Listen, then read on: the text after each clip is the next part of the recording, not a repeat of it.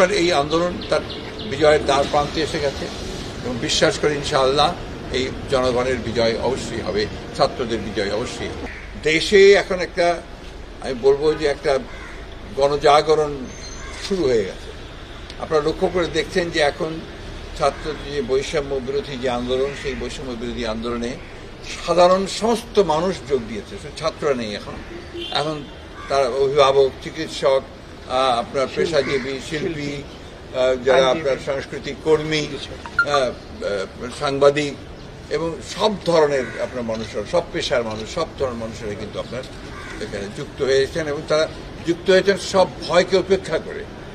এটাই হচ্ছে এইবারকার এই আন্দোলনের সবচেয়ে বড় যে দিকটা আমি লক্ষ্য করছি যে মানুষের যে অন্যায়ের বিরুদ্ধে যে তারা জেগে উঠেছেন যে জাগরণ তাদের সৃষ্টি হয়েছে আমরা যেটা সবসময় বলে আসছিলাম, তরুণদের জাগ্রত হবার কথা, সেই তরুণরা এবার জেগে উঠেছে।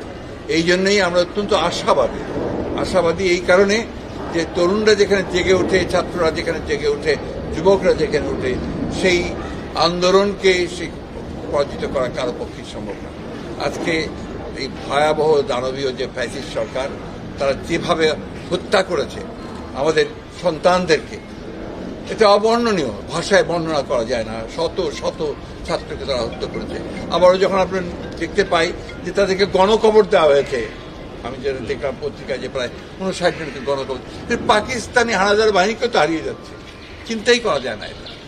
আমি মনে করি যে আপনার এই আন্দোলন তার বিজয়ের দ্বার প্রান্তে এসে গেছে এবং বিশ্বাস করি ইনশাআল্লাহ এই জনগণের বিজয় অবশ্যই হবে, ছাত্রদের বিজয় অবশ্যই হবে। মহাসচিব বৈষম্য বিরোধী ছাত্র আন্দোলন যে ব্যানারে আন্দোলনটা হচ্ছে তারা কালকে কর্মসূচি ঘোষণা করার সময় নিশ্চয়ই জানেন যে আজকে বিক্ষোভ এবং আগামীকাল থেকে সর্বাত্মক অব- আহ, সহযোগ আন্দোলনের তারা ডাক দিয়েছে।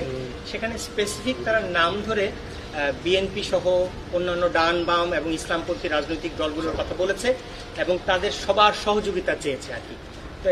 আপনারা কি এই আন্দোলনে সামিল হতে বলেছে? সামিল হতে বলেছে আপনারা আমরা আমরা প্রথম দিন থেকে আপনারা নিশ্চয়ই লক্ষ্য করেছেন ছাত্ররা যখনই আপনার আন্দোলন শুরু করেছে এর যে যৌক্তিকতা সেই সম্পর্কে আমরা কথা বলেছি আমরা আমরা তাদের সঙ্গে সহযোগিতা শুধু নয় তার একাত্মতা ঘোষণা করেছি আমরা এখনও ওটা শুধু নয় এটাকে আমরা আরও বেশি দৃঢ়তার সঙ্গে বলতে চাই যে ছাত্রদের এই যৌক্তিক আন্দোলন এই আন্দোলনে আমাদের শুধু সমর্থন নয় আমাদের সর্ব রকমের সহযোগিতা সহমত তাদের সঙ্গে থাকবে।